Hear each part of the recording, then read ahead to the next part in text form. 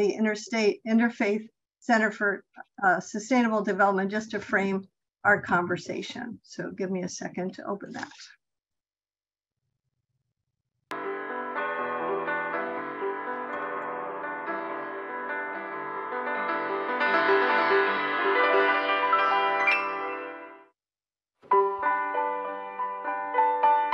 We're part of the earth. a steward of creation. We have only one home. The concern about environment is the question of our survival. We're dependent. We're rooted on the earth. God planted the first human being in the garden. To be a steward of creation. La'ovda Ulashomra, to serve and conserve it. The Quran directly gives me the responsibility, I think in the English translation you would say stewardship, as Khalifa. care and compassion for all others around us. whether they have wings or fins or roots or paws.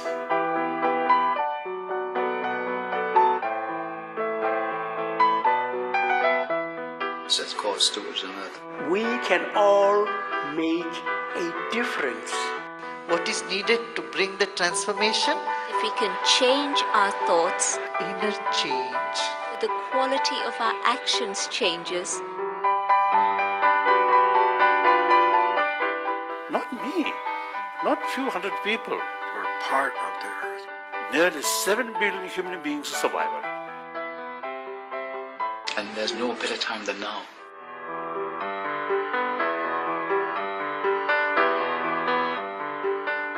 I always think of my grandchildren. We have the responsibility of thinking long term about where it is that we are going. the life of the future generations. 50 years from now, 100 years from now, seven generations from now. What kind of world are we leaving them? To whom we owe this planet. Love one another and preserve forever this fragile planet. harmony between the creator and creation.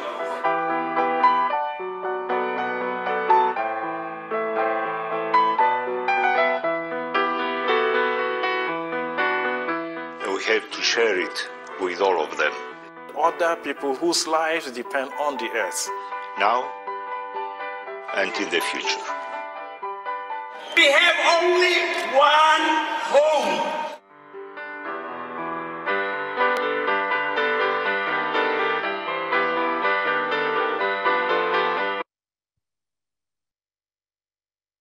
I wanted to ground that because those of you who weren't with us last time, uh, I wanted to say that those of us in Concord Quarter and the Eco Justice Collaborative are really hoping to ask all Friends institutions this year to start a process of committing to transforming our property, the land that we control, into one of these three certifications. And we hope other faith communities will do that as well. This series, to orient you, started in, on March 1st with a look at eco-friendly landscaping policies with a case study from Kendall Crosslands, the National Wildlife Federation certification program specifically for what they call sacred grounds. And during this one, we're going to look at the Audubon bird friendly certification, a case study from Gwynedd Meeting, and the nuts and bolts on how to register with the National Homegrown National Parks. We have a third session scheduled for June, which is going to look at protecting forests and woodlands through two Quaker initiatives, the Carbon Forest Project, and we'll have John and Joyce Monroe presenting, and a Cloud Forest Regeneration Project uh, that I'm involved with in Veracruz in Mexico. And then during the summer, we hope all of you will either volunteer to host a tour or take advantage of tours that we expect will be sponsored all across the, the PYM region, which is New Jersey, Delaware, and Pennsylvania. And, and I hope if there are those of you who are not within PYM, consider hosting something yourself. So I want to review quickly what we'll do tonight. We're going to spend about a half hour listening to a presentation on the Audubon Bird Friendly Certification. Then we'll have the pleasure of hearing about uh, Paige Menton's experience visiting houses of worship around the country, and then a case study of Gwynedd's stewardship journey. And then I'll close the program by just giving a little of the nuts and bolts of what it looks like when you actually register for the national park process so that you're clear about what that looks like and, and won't feel intimidated by it. And then we'll just close with a reminder of what our next steps are. I want to say a little bit about the Audubon Society. It's different from the National Wildlife Federation. Audubon has offices or regional groups across the country. So I've chosen one from Arkansas because they had their bird conservation director do the program. I think he does a very clear job. And then we'll talk a little bit about what our regional offices are doing. So let me switch over to that video now. So hello everybody, I am Dr. Dan Scheiman. I'm the Bird Conservation Director for Audubon, Arkansas, State Office of the National Audubon Society, nonprofit bird conservation organization. Uh, bird Conservation Director is a fancy title for ornithologist, which is a fancy title for Birdman, and a lot of people call me Dr. Dan the Birdman. And I love birds, of course, and I also love gardening for birds. And in today's world, with so much going around us, habitat loss, climate change, and now pandemics, it can just seem so overwhelming. Like, what can we do to help birds with all this stuff going on around the world? Well, I say we should make changes where we have control, which is our own yards. So, how can we make our own yards and make things in our own lives more bird friendly? How can we make our space, our local environment safer and healthier for birds? right now, it's spring migration, and there are millions of birds that are taking wing to go to their breeding grounds to the north and they're starting to pass over our areas. And those birds need places to land and rest and refuel on their long journeys. And the birds that breed here need places to find food and shelter. The birds that winter here need those same reasons. Our yards can be that haven for those migratory and even resident birds. But the problem is that birds have lost a lot of habitat over time, especially through urbanization. And I'll show you a series of maps here that show how housing density has changed over the decades, with red areas being dense urban areas. And over time, decade by decade, as our cities ha- are, have expanded, we've been eating up what was once natural habitat or even productive farmland and replacing it with urban and suburban areas. Acre by acre, parcel by parcel, things have been changing. And this is where we are today. You can see that growth even in Arkansas. If you live in central Arkansas, you can see how it's one big urban corridor from uh, Jacksonville to Benton to Maumelle and probably spreading up to Cabot and, and Conway. And Northwest Arkansas is expanding so rapidly, one of my birding friends calls it Northwest Arkansas City. That growth is projected to increase even more. So bit by bit, birds are losing habitat. We want to stitch that habitat back together for them. Because this is what a lot of that new development looks like. We've all seen it, right? Cut down the trees, take away the fields, put these houses down. Most these these yards are mostly lawn, and there's millions of acres of lawn in the US. Lawn is sterile, it's not good habitat, it requires a lot of resources. In addition to lawn, there may be a few ornamental shade maybe a few ornamental shrubs and flowers, but these yards are meant to be to look orderly and neat. They're there to be easy to maintain, to celebrate lawn as a status symbol, but they're not there to share our yards with other wildlife. If you were a migratory bird passing over this neighborhood, there's little for you here. You would have to keep on flying. We can change that, right? We can do things to make our yards, no matter what situation we're living in, better for birds. There are things we can promote, and there are threats that we can try to reduce or prevent. And I'll go through each one of these in turn. So the first and foremost are planting native plants. Native plants are the foundation of a bird-friendly yard. Native plants are the ones that were here before European settlement. Currently, this is the main criteria for choosing landscaping plants, especially in the newer developments. Mostly, is it pretty? Does it look nice in my yard? And as long as it looks nice and it will tolerate the soil, the moisture, the sunlight, I'll plant it, right? But we need to balance that scale and consider the ecological values as well, especially the food web values that the plants provide. And I would argue that native plants provide both ecological and decorative values. They look good and they are functional. And I don't just talk the talk, I plant the plant too. I have an all Arkansas native plant yard.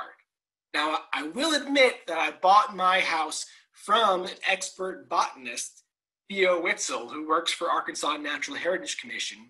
He spent eight years before me putting in native plants, converting it to an Arkansas native plant yard. Uh, but I've enjoyed the last nine years maintaining that and adding to it over time.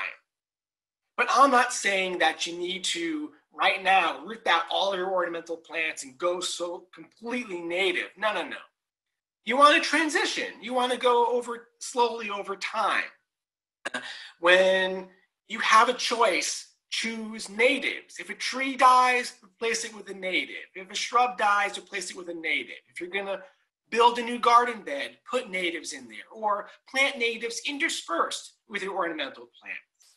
You've got roses and roses Sharons and zinnias you love, fine, keep them.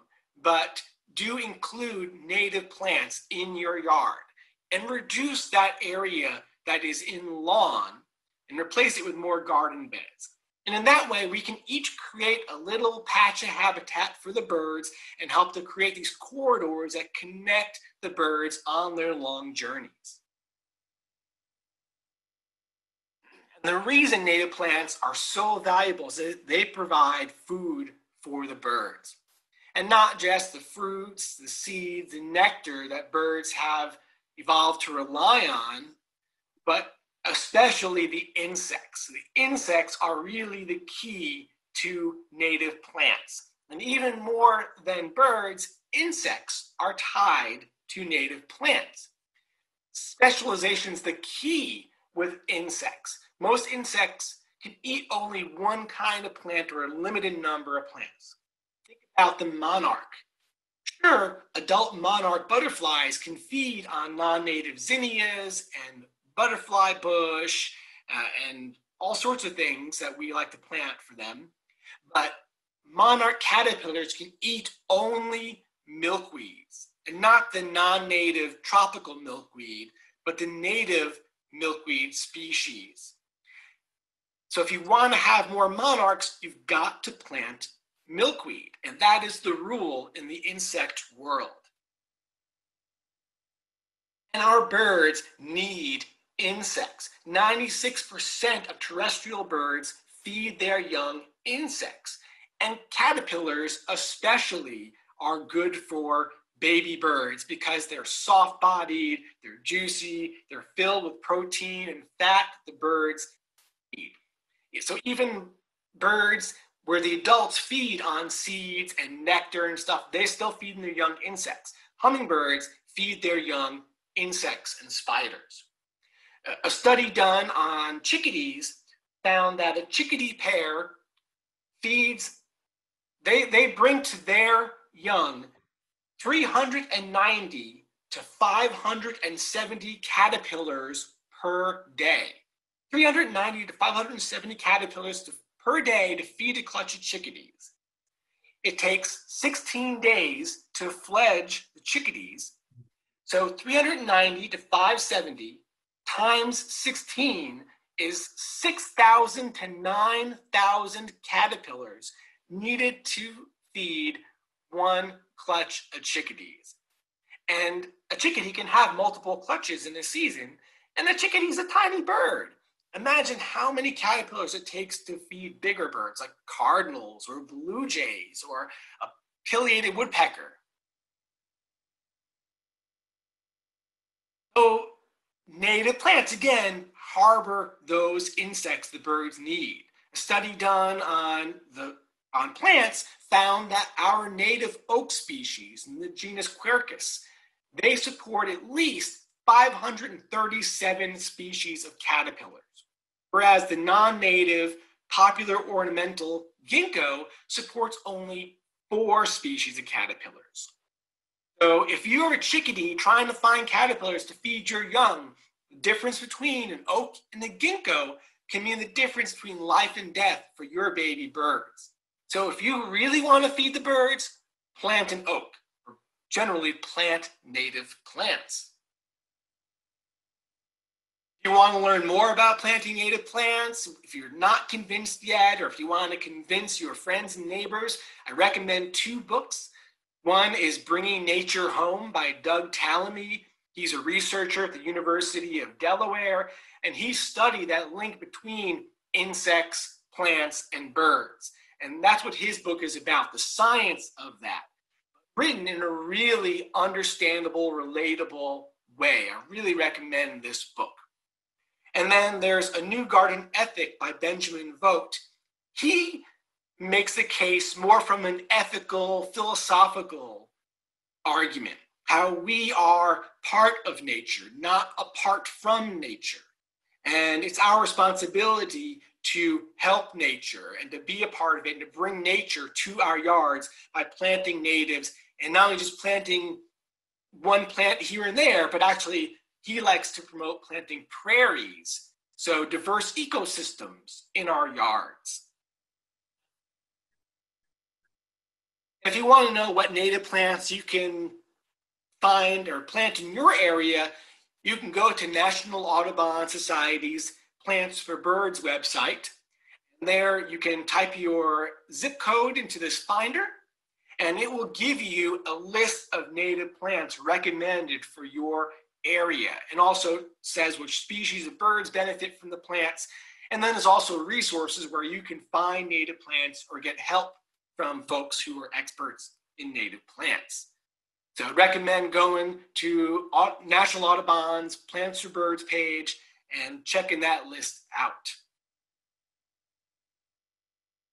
So the flip side of planting natives is removing the invasive species. Again, if you've got some ornamentals you love, that's fine, but there are some invasives that are commonly found in our yards that are really nasty buggers. And they don't just stay in our yard, they get loose and they invade natural areas. And government and state and nonprofit organizations like Audubon and Nature Conservancy and Game and Fish have to spend a lot of money trying to fight these species because they tend to outcompete the native plants in natural areas and reduce the biodiversity of our natural areas. And you don't want your yard to be a reservoir of spread for more of these, these aggressive plants. So things like Chinese privet and honeysuckle. And yeah, I know they provide food for birds. And of course, that's how privet spreads around, right? A bird eats a privet berry and poops it out somewhere else, and the privet grows up. Uh, and honeysuckle, Japanese honeysuckle. Yeah, hummingbirds will feed on that. But there's also a native trumpet honeysuckle that's even better for hummingbirds, and it blooms at just the right time when the hummingbirds arrive. Nine are in full flower right now, and the hummingbirds have just hit Arkansas. And then Nandina yeah, birds will eat that too, but Nandina is poisonous for birds. It contains hydrogen cyanide. So if birds eat enough of it, they can be poisoned and die. And cedar waxwings are especially susceptible to this because they gorge on berries. You can cut your Nandina berry stalks off before they ripen. And there's also Nandina varieties that don't have berries that are sterile, but still, why not rip that nandina out and put in a native shrub that's better for the birds and better for the insects? In addition to planting native plants, there's basic needs you can provide for birds. Shelter and nest sites. Birds need that if you want them to nest in your yard or seek shelter from the elements or predators. And again, native plants provide good cover for birds. There was a, a study done in the Northeast comparing birds nesting in native versus non-native shrubs. And it found that the birds nesting in non-native shrubs, they had lower nest success. It was easier for predators to find the nests in those non-native shrubs because the branching structure was more open, which exposed the nests to those predators. Next, dead trees, dead parts of trees, if these are not an immediate threat to your house or your neighbor's property, leave them standing. Snags, of course, provide good perches for birds, and of course, there are places where woodpeckers nest. When woodpeckers are done nesting in them, then there's lots of other species that nest in cavities that take up nesting in woodpecker holes or nesting in the natural tree cavities in dead trees. Uh, things like nuthatches and chickadees and titmice and great crested flycatchers. And then, of course, there's all sorts of insects that are eating that dead wood, and that's why there are woodpeckers pecking on that wood. But there is heavy competition for natural wood nesting sites because of people's tendency to cut down standing dead trees. So the way to supplement that, of course, is through nest boxes. And there's lots of nest box plans out there, different size and shape boxes for different birds. Just be sure if you're going to put your nest box out that you protect the nest box from predators and that you have a, a way to open up the box so you can clean out the contents at the end of the breeding season. Leaf litter. Leaf litter is another great place for birds to forage. There's a lot of insects that hide in leaf litter. There are some insects that require leaf litter to overwinter. If you want to have insects coming up in the spring, you've got to leave your leaf litter there for the birds to find them. So here's an excuse to not rake, or at least rake less. Uh, what I do in my yard is, um, well, I'll mulch mow the leaves that are on my lawn and I'll leave the leaves in the garden beds all winter long. And that not only provides places for the insects, it also protects the plant roots from the cold. And it provides nutrients for the soil and it retains moisture and it provides compost and uh, protection from weeds, all sorts of benefits of leaf litter. And then come early spring, beginning of February, when the plants are just starting to pop up again, I'll rake that leaf litter out. Not all of it, but the, the heavy stuff. I'll leave a, layer, a thin layer on the ground, again, to act as mulch and to provide nutrients for the plants and provide hiding places for the insects. And then I love to watch the wood thrushes, the brown thrashers, the white-throated sparrows, the towhees kicking around in that leaf litter looking for the insects.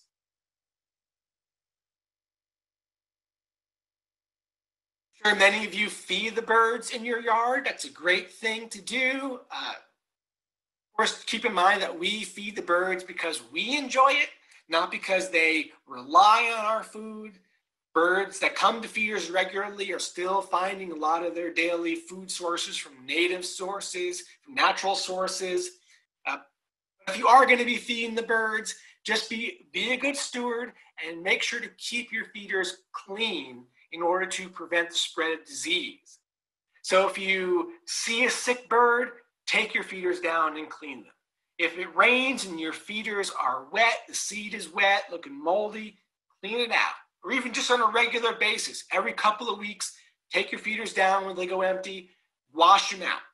Now, some places say use bleach. I don't like bleach, it's toxic to all life.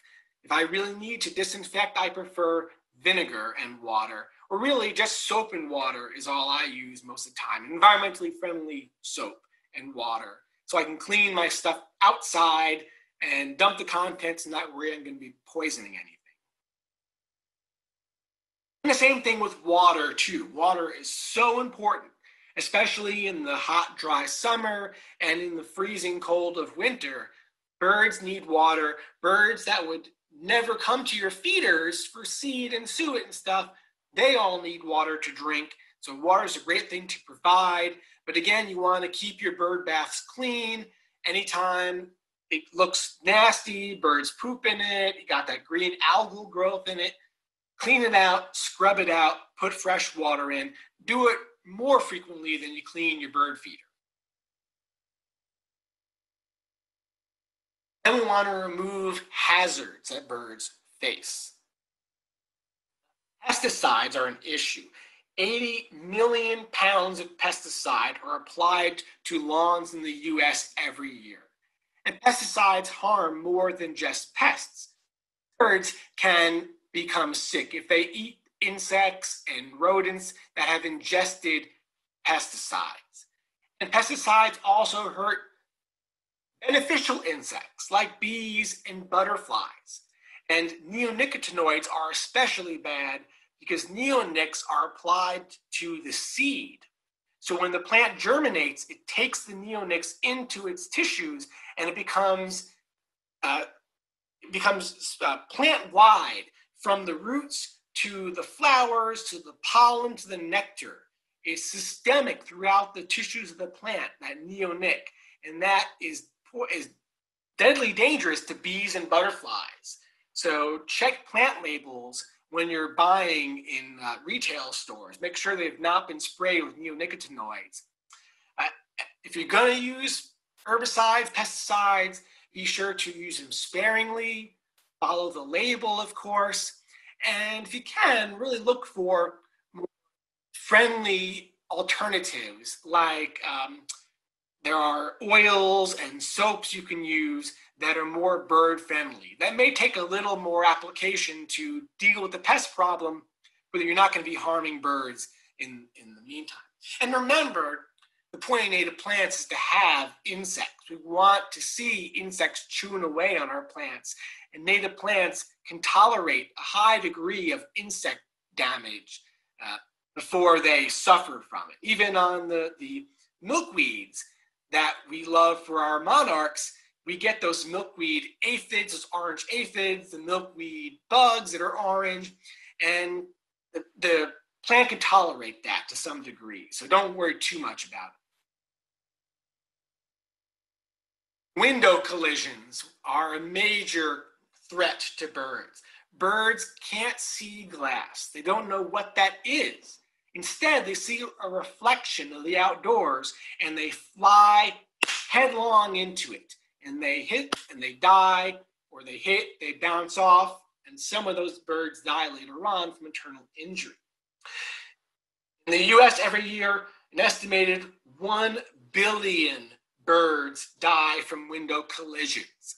And it's not just the big skyscrapers that are gigantic towers of glass. It's also our individual homes, where an estimated 150 million birds die through collisions every year.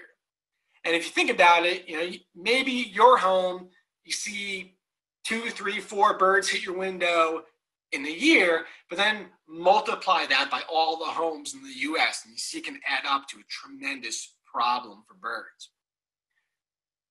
Fortunately, there are easy things we can do to prevent window collisions. And the key is to make the windows more visible for birds, to put an obstruction in the way so they don't think they can fly through. And there's things you can do like putting up strings, cords, decals, stickers. Whatever you do, you got to make sure that those elements are no more than four inches apart from each other.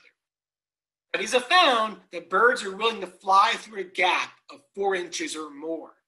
So if you're going to string strings, they got to be no more than four inches apart. If you're going to have stickers up, they have to be in a regular grid, no more than four inches apart. Putting a decal in one corner and a decal in another corner is not going to do anything for you. Now here's a picture of my windows, the ones that face my feeders, and I've got parachute cord hanging there.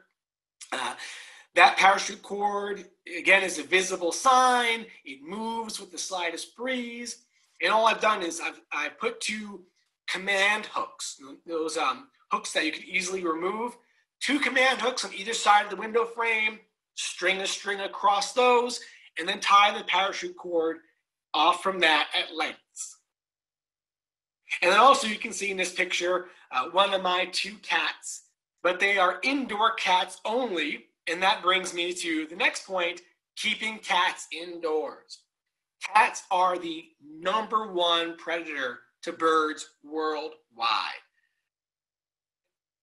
Outdoor cats kill an estimated 2.4 billion, with a B, billion birds in the US each year. Cats are efficient predators. They hunt even when they're not hungry. And they not only take a toll on our birds, but also on mammals and reptiles and other little critters. Studies have found that indoor cats live longer, healthier lives. Indoor cats don't get into cat fights. They don't spread diseases. They don't get mauled by dogs and coyotes. They don't get hit by cars. They don't get taken away by well meaning people who think that they're strays and don't have a home. Take it from a cat lover. Keep cats indoors. It's better for the birds, better for the cats. And then lastly, there are personal actions that we can take to help the environment. They're not necessarily directly related to the birds, but they reduce our impact on the environment. So conservation starts at home. Things like reducing energy use, reducing water use, installing rain barrels to capture the rainwater from your roof and using that to water your garden. Planting your own garden, to have a local food, uh, not using pesticides on that, of course. Uh, so think personal actions that we can take at home to reduce our carbon footprint, our energy footprint, our resource use. We can also make our bird watching count for the birds by participating in community science programs like the Great Backyard Bird Count and Audubon's Christmas Bird Count and eBird. By submitting our sightings to these science programs, this is how researchers, how ornithologists keep track of bird populations. It's how we know which birds are increasing or de decreasing and how we figure out where we need to help the birds. So these are easy, they're free, and they do help the birds and something you can do each and every day just by watching your backyard birds. And you can also help to spread the bird word. So now that you know more about native plants and making your yard bird friendly, and if you read Benjamin Vogt's book and Doug Tallamy's book, help to share that with your friends and family. Tell them why you think they should make their yard more bird friendly and how they can go about doing that. And if you want a nice sign, a symbol how, that your yard is bird friendly, then I recommend signing up for the Bird Friendly Yard Certification Program from Audubon, Arkansas's sister organization, Arkansas Audubon Society.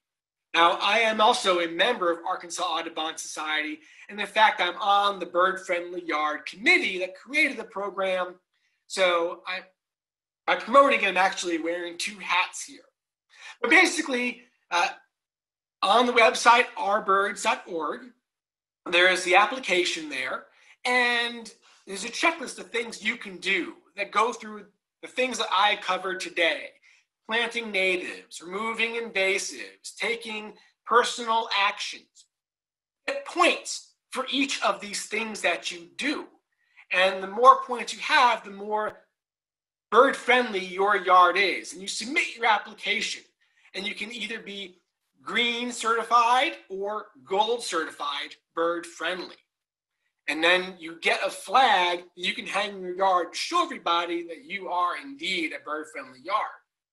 But even if you don't have enough points yet to get the green or gold flag, but you want to start taking actions along that line, still submit your application. Let us know that you are on your way, and we'll send you that pink working to become bird friendly yards so everyone knows what you're up to. So when you start planting natives, people don't get upset about it, thinking your yard is going to the wild, and that you are a, a, visible member of our network of bird friendly yards in Arkansas.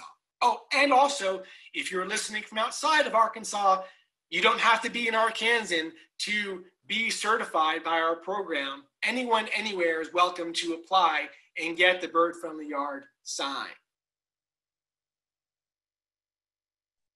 So I'm going to stop there because he has done a nice job explaining uh, what they do in Arkansas. And I'm going to transition now to going to the work that's done here locally. As I mentioned before, there's a new regional office for Audubon, which includes uh, Maryland and I think Delaware and Pennsylvania and New Jersey has its own. But they've just put together this short promo, at which is only three minutes. I thought it's worth seeing since those of you who are on might share it with your congregations.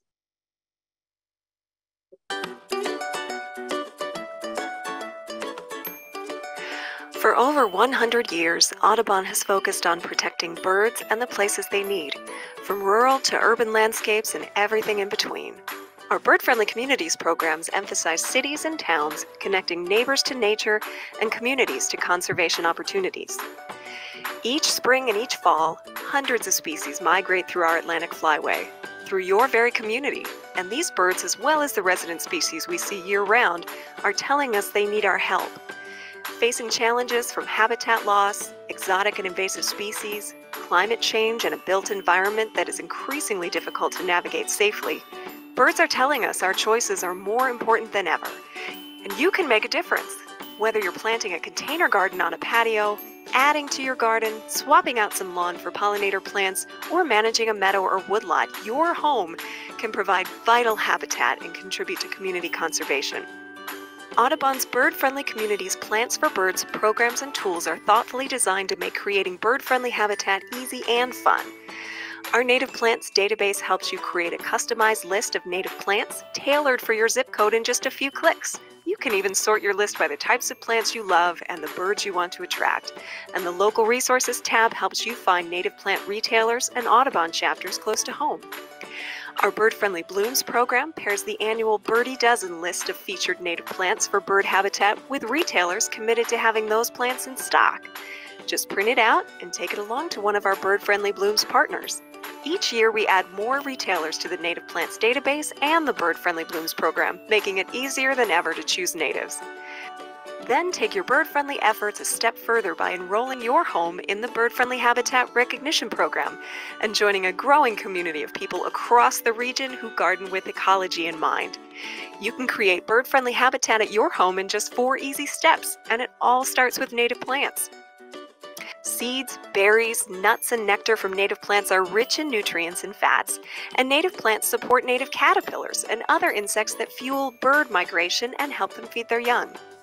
Include fresh, clean water from a stream, a small water feature, or even a saucer filled daily. Add shrub and tree layers in a range of heights and textures to give birds plenty of options for shelter to rest, avoid predators, and build their nests.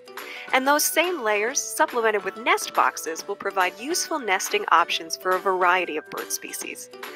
Food, water, shelter, and nesting sites. And you're well on your way to creating bird friendly habitat. Your property, rented or owned, small or large, can have a positive impact on both bird habitat and your community because what's good for birds is ultimately good for people too. And although our backyards are our own private oases, it's imperative that we remember that they are connected to our neighbors, the larger landscape, and indeed the broader global community. Together, we can all contribute to a ripple effect of stewardship that benefits people, birds, and the places we share.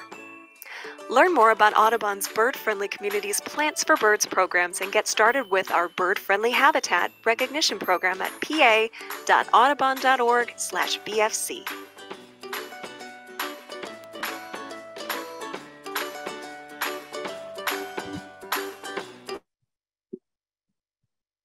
We've now been sitting for uh, almost an hour, so I'd like everybody just to take a second and stretch their arms and twist, just to give yourself a little brain break here. And we're going to shift and transition to welcoming a person on live on screen. And I'm really grateful to have Paige here today.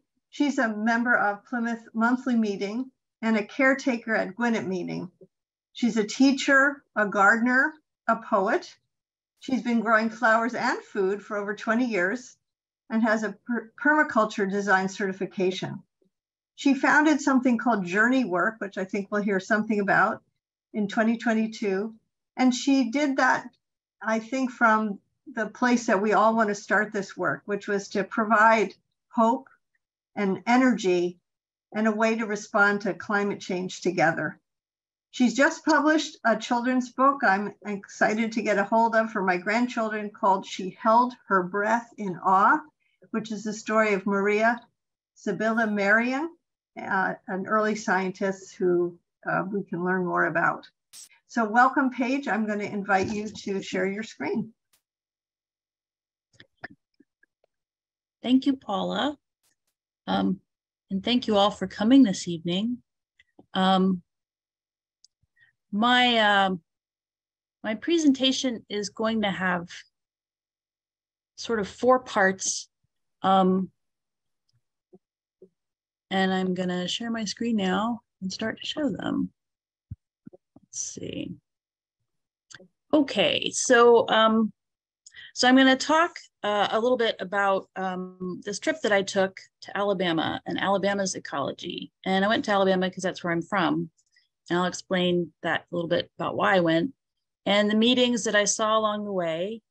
Um, then um, I'll talk some about what we are doing at Gwynedd with our land uh, restoration projects, and then a little bit about um, Journey Work, the organization that Paula mentioned. So um, my journey on this began in, well, this part of the journey anyway, began uh, with seeing David Attenborough's movie A Life on Our Planet in the fall of 2019. And um, I saw this this film for me as a call to action um, uh, about dealing with a climate crisis and, and what I could do. And um, so I decided that um, I was going to uh, walk to Alabama as my uh, response. Um, and I was going to um, talk to people along the way and ask them about um, uh, their fond memories of uh, the natural world. And that way I would start to understand um, different points of view. And um, so I started to think about that trip. And then um, that was in February of 2020, and then then there was March of 2020, and so it got postponed. Um, but in the meantime, uh, at the beginning of the pandemic, Gwynedd uh, formed um, an ad hoc site committee and worked with a firm named Roofmeadow to come up with a landscape master plan. And um, so I was involved uh, on the, the committee that worked on that.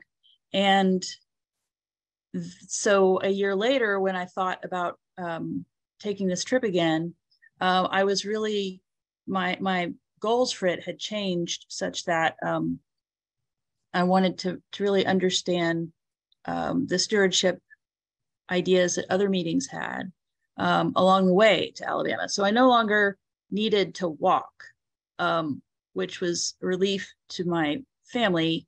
It seemed to make more sense to drive so that I could really spend time um, at these meetings along the way. So I traveled to seven different meetings. And so my my goals were now um, learning about the, the Quaker communities along the way and how they steward their land, to better understand the ecology of the place that formed me in Alabama. And, and still, I wanted to ask total strangers about their feelings for the natural world. And the way I forgot to mention this, uh, the original plan was that once I got to Alabama, I was going to go door to door and ask people because that's something I liked to do when I was a kid and a teenager was go door to door. And so I was going to go to, so I still went with that idea and I, and I walked door to door. So, um, so I ended up going to seven different meetings um, along the way. And um, they included Lancaster Friends meeting, Third Haven Friends meeting, uh, and then once I got to Alabama, Birmingham Friends meeting and Fairhope Friends in South Alabama near Mobile and Fairhope. So in Birmingham, specifically in Hoover, uh, the suburb I grew up in, I did walk door to door for a few days of a week. Um, and these are some of the uh, places I walked. And I found, I ended up finding that a lot of people aren't home when you walk door to door, knock on a lot of doors. And, um, it, but, but what I really came away with um, was uh, it, it, was kind of more of a walking meditation about um, how uh, how private land is, how we use it, and how um, we, how in Alabama, in particular, most of the land is private. 95% of the land in Alabama is privately owned. Um, it is the uh, worst, the worst of the southern states for publicly owned land. It's less than 5%. So, um, so I did a lot of thinking about that and I also um, took time before I got to Birmingham. And once I was in Birmingham, uh, it was really important to me uh, as I went on down to Fairhope and then afterwards to really uh, get as much of the ecology of Alabama as I could cram into the trip. So um, th these are pictures from Moss Rock Preserve, which is um, in Hoover. It's actually down the street from my middle school. Um, which we didn't know about at all. It wasn't a preserve when I was in middle school. Uh, it's 350 acres. It has a glade with rare species of plants. Um, and then uh, going south, uh, this is near Mobile. This is a pitcher plant bog, which is um, pitcher plants coexist nicely with longleaf pine. Um, this, these are images from uh, Dauphin Island off the coast of Mobile.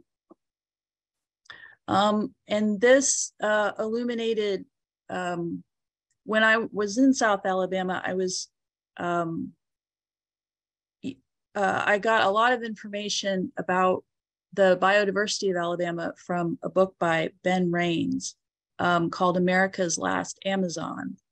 And um, the the the a big takeaway takeaway from the trip for me was about the biodiversity of Alabama. That it is one of the most biodiverse states in the country, um, fifth in terms of biodiversity, and number one in certain species. It's um, or in certain groups. It's uh, number one for uh, freshwater fish species. It's number one for mussels. It's number one for crayfish it's an amazingly rich place.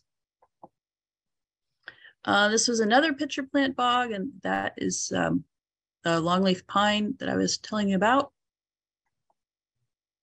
This is a glade outside, it's in um, along the Cahaba River outside of Birmingham. Um, this particular glade has the largest concentration of rare plant species. There's 61 species in this glade. It's the largest, it's the most biodiverse area in the southeastern United States. And these were a couple of the critters uh, living in this particular glade. So um, after visiting these meetings, I, I kind of thought about the things that are going on um, generally across where I visited. Um, the uh, the land is taken care of by a land use committee or a garden committee. Um, and the meetings that uh, some of the meetings that I went to had environmental concerns committees, but they weren't usually this the same people um, as uh, the grounds in the garden. They weren't put together. Um, some of the meetings had caretakers, uh, and generally the grounds were taken care of through work days once or twice a year. Um, there were different kinds of gardens that meetings had uh, with um, not necessarily native species, but they serve purposes like being peace gardens or meditation gardens. Um, and uh, I think the the big concern across all the meetings that I went to, whether they had uh, four acres or just front and backyard, was um, about the, the a smaller membership, the costs of transitioning landscape to anything other than what they already have, and and the ongoing maintenance of it.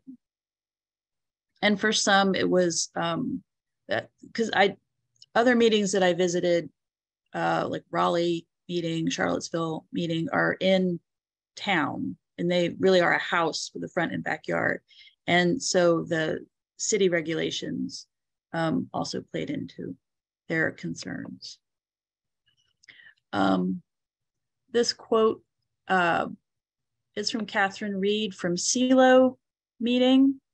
And um, it was kind of a, and unfortunately my little stop share thing is in front of it.